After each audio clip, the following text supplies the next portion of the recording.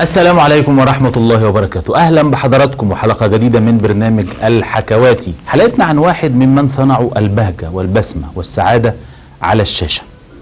واحد ممن اشتهروا بإفهات أو لازمات التصقت به لدرجة أنه أصبح يطلب في المسرحيات خصوصا مسرحيات الصيف السياحي بالإسكندرية على مدى 20 سنة لكي يقول نفس الإفيه. الإفيه أو اللازمة كانت هي اباه. اعمل معروف. دلوري واقف في الصحراء والشيال لوحده. عايز إيه يعني؟ إحنا جبارنا مفيش بنزين. قوينا بقى. أهويك أروح فين؟ شوف لنا شوية بنزين هنا ولا هنا. خليك جدع امال جدع ده نجدع من أبوك. الله الله ده نظام خناق بقى. أيوه هو نظام خناق. في ليلتك اللي مش فايته دي. أنت عايز إيه؟ يا عم ربنا يكفينا شرك أنت هتقعد. شوف بقى دماغي متكلفه ومش عايز اضيع الشحنة اللي فيها. الله. ده نظام رسالة بقى. أيوه نظام رسالة بقى. لا هو انت عمبان هنا بقى هوينا بقى. رمضان! طب استنى بقى. لا مؤاخذة. ألف السجارة دي. لف إيه؟ ما تلفها واشربها بس بعيد بعيد عن البنزين. الله يبقى في بنزين بقى. أيوه في بنزين بقى. ومش هديك أنا حر. طب وده بقى نسميه نظام إيه ده بقى؟ افترس. ممثل صنع نجومية كبيرة من خلال هذا الإفيه. حلقتنا عن سيف الله مختار. سيف الله مختار بتختلف المصادر عن نشأته. البعض بيقولوا إنه نشأ في الدلتا آه، آه، في الدقهلية البعض بيقولوا إنه ولد في المنوفية. في كل الأحوال هو تربى في القاهرة واستطاع إنه آه، يعني يقدم نفسه من خلال أدوار صغيرة عبر المسرح. كان أول دور له في السينما من خلال دور الساعي في المحكمة في فيلم يوميات نائب في الأرياف. آه، طبعا تأليف توفيق الحكيم. واللي كان آه، بيقول في لازمة شهيرة آه، آه، جاي أهوت. ويمكن هو لما حس إنه في أول فيلم له على الشاشة اللازمة بتلزق في أذن وفي عقل المشاهدين بدأ كل عمل يعمله يدور لنفسه على إفيه.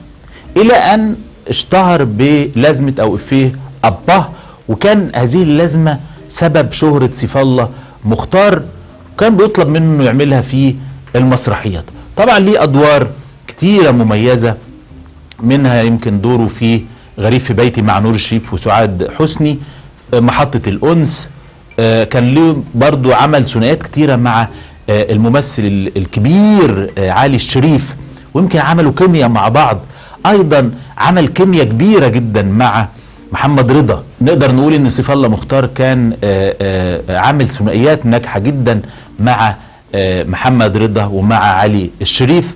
أيضا قدم مع الثلاثي بعض الأعمال. ويمكن كان في الأفلام الكوميدية قاسم مشترك أو حتى لما كان بيبقى في أفلام لها طابع درامي أو تراجيدي كانوا بيجيبوه لكي يصنع هذه البسمة من خلال افهاته أو من خلال أدواره الكوميدية الخفيفة. ما ننساش دوره في ممنوع في ليلة الدخلة رجب فوق صفيح ساخن عمل مع عادل إمام أدوار كتير جدا.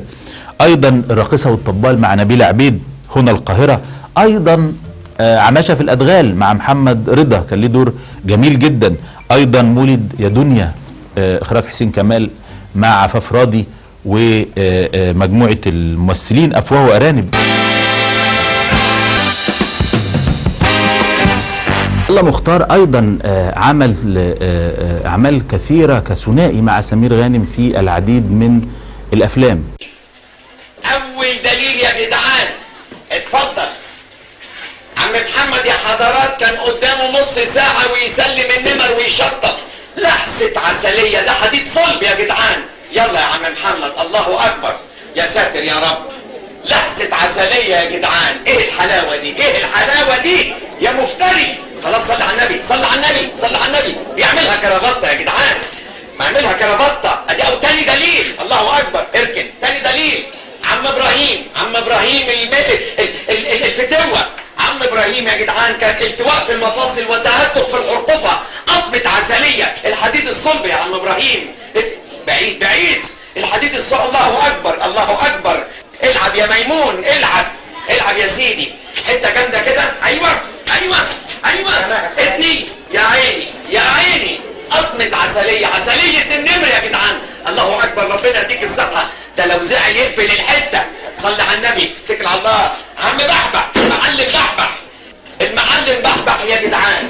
المعلم بحبح إمساك مزمن بقاله 12 سنة. لحظة عسلية يحزق الحزقة يخبط في السقف. يا سيدي انفخ. يا عيني يا عيني.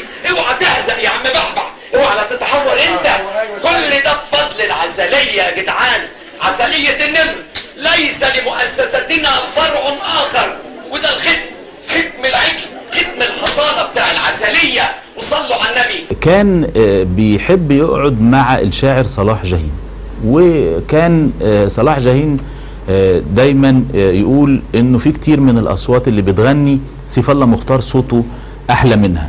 وسيف الله مختار بقعدته مع صلاح جاهين آه، كان آه، يقول له اسمعني يا أستاذ أنا عايز أغني كلام أنت بتألفه. وكان بالفعل بيقعد يغني في القعدات الخاصة وكان أحيانا في بعض الأدوار يحب إن هو يمول أو يقول مواويل أو آه، يغني أنا السيد لوحدي يا راجل ما تاخدش بالك الشغل عندك الشارع بسرعة شوية يا عم جرجس لا يا سوي بسرعة يا حبيبي وانت اللي نصيبك نصيبك يا صاحبي ما تعرفني ويوم ويوم ويوم مش حاجة موهبته كانت كبيرة جدا وكان بيحلم إنه يعمل أدوار مركبة. ويمكن في أحد المشاهد كان بيجمعه بعلي الشريف مشهد وعلي الشريف عمل له خلطة معينة كده حب يجربها آه، عليه إذا كانت هتغيبه عن الوعي ولا لأ. وقدم مونولوج يكاد يكون مونولوج مسرحي على شاشة السينما بيخرج فيه من شخصية لشخصية وبينتهي بأنه بيقول آه، أنا مرة وأنا بعتبر أنه آه، هذا المشهد من المشاهد اللي بينت المساحة آه، الكبيرة لموهبة سيف الله مختار على الشاشة.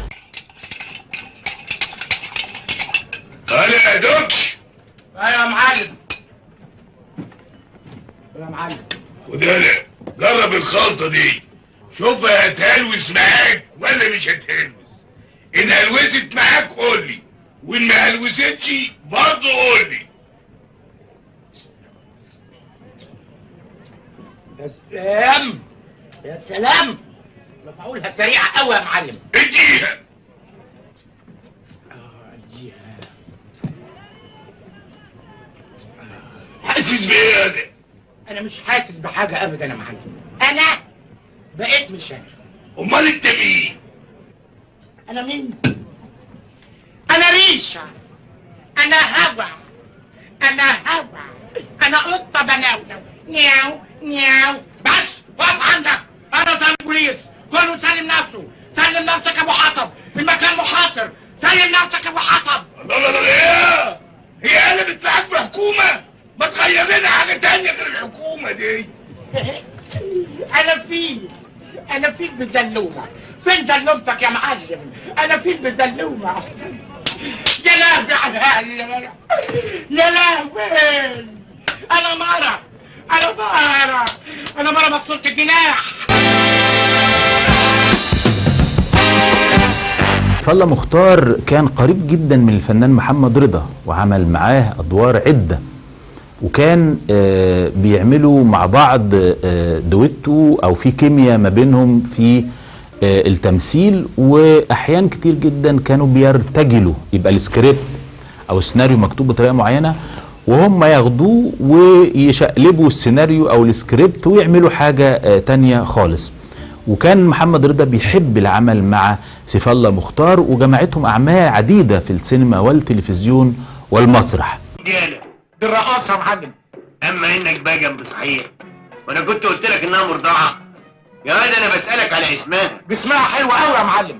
يا تفوق لنفسك وصحصح معاها شوية. أنت بتشرب صنف عليوي قوي الرقاصة اللي في التلفزيون دي اسمها إيه؟ الحقيقة يا معلم بعد موت عبد الحليم حافظ ما بقتش أعرف المغنواتية من الرقصات يا خسارة الدخان اللي بيخش في نغاشيشك ويطلع من مناخيرك.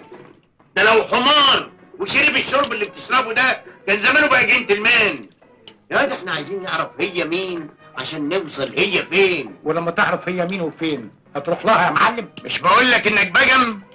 هريد أبو الهدد ما يروحش لحد ابدا. كل الناس هي اللي تجيله. أنا ما اروحش إلا عشان أهد. المعلم هريد يا أبو الهدد مين ما يعرفوش؟ ده هد نص البلد. أصل المعلم عايز ست مباهج تحييله ليله كبيرة في العوامة بتاعته. عقبال عندك ابنه عبد الجبار اخد شهادة الدكتور. آه. تحت أمرك بس يعني أنت عارف إن كان على الفلوس ما تشغلش دماغك. المسألة يا سيدي مش مسألة فلوس. كل ما في الأمر إنها ما بتروحش حفلات خاصة. آه لازم الأبيج ما بيعجبهاش. المحل. ما يستغناش عنها ولو ليلة واحدة. بسيطة نهده لا في عرضك. أنا حلت غيره. سنكر المحل ليلة والمعلم يدفع لك العوض. إزاي بس يا سهلال؟ أنت عارف محل زي ده بيجيب كام في الليلة؟ أنت عارف المعلم هريدي بيكسب كام في الهبدة الواحدة؟ ده لسه الجمعة اللي فاتت مشتري كوبري الملك الفالح والأيام دي حاطط عينه على البرج عايز يهده وابني بداله عيش غراب. خلاص. اللي تشوف يعني لازم تبعتها. وأوعى تيجي أنت. السياحة العربية آه، كانت بتأتي إلى مصر في فترة السبعينات والثمانينات ويمكن لغاية منتصف التسع- التسعينات لكي تشاهد آه، آه، سيف الله مختار ومحمد رضا. وسيف الله مختار كان له نصيب الأسد لما كان بر- برضه بعد هذه المسرحيات بتسافر للبلاد العربية خصوصا منطقة الخليج. كان بيبقى فيه جمهور كبير جدا وهو ما كانش آه، بيصدق نفسه لدرجة إنه في أحد المرات آه، عمل حديث لصحيفة الأخبار قال فيه آه، أنا ما كنتش أحلم باللي أنا فيه.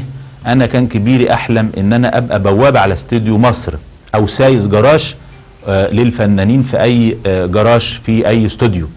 كان آه، عنده تواضع كبير سيف الله مختار وكان أيضا آه، يمكن سعيد صالح آه، الله يرحمه آه، في أحد المرات كنت معاه في مسرح الزمالك وكان عايز سيف الله مختار معاه في المسرحية وقال إنه من الفنانين اللي, اللي ليهم في الخير كان سيف الله مختار. كان من الفنانين اللي آه، يحب يقعد مع الناس البسيطة والناس الغلابة ويحب يساعد الناس الفقيرة والناس الغلبانة. آه، سيف الله مختار آه، يمكن آه، كان ممكن يبقى مشروع نجم كبير لا يقل عن نجوم الكوميديا في الصف الأول. لكن عبر أكتر من 150 فيلم تم حصاره في الدور الثاني والدور الثالث أيضا. ويمكن ده كان عامل له نوع من أحيانا من الغصة أو ال- ال- المشكلة النفسية لكن لم تترك أي أثر على حياته لدرجة إنه كان بيعلن بأنه راضي عن مسيرته الفنية وراضي عن كل اللي قدمه. سيف الله مختار انتشرت إشاعة آه، قوية جدا إن هو أخو فنان كبير هو الفنان أحمد رمزي. والإشاعة دي انتشرت بعد وفاته والتصقت بالجمهور. لكن الحقيقة إنها شائعة مجرد شائعة. سيف الله مختار ليس شقيق الفنان أحمد رمزي على الإطلاق لأنه الفنان أحمد رمزي له شقيق واحد طبيب اسمه الدكتور حسن كان عايش بره مصر لما مات سيف الله مختار. ودي من ضمن الإشاعات اللي التصقت جدا لدرجة إنك حتى هذه اللحظة بالبحث في محرك البحث جوجل هتلاقي لو كتبت في سيف الله مختار هتلاقي مكتوب إنه شقيق الفنان أحمد رمزي وهذه ليست حقيقة على الإطلاق. وكان بيقول دايما إنه مش هيعيش كتير وده يمكن برضو في أحد أحاديثه الصحفية. كان بيقول إن هو مش هيعيش لغاية أما يعجز والغريب إن هو فعلا رحل عن عالمنا في 1989 عن عمر يناهز 56 عام بعد أن قدم ما يقرب من 160 فيلم على شاشة السينما. دي حكايتنا عن أحد سكان الدور الثاني أو أحد نجوم الدور الثاني في السينما المصرية واللي كان آه، آه، أحد مصادر السعادة والبهجة للمشاهدين حتى هذه اللحظة كلما شاهدنا أعماله في السينما المصرية. الفنان سيف الله مختار.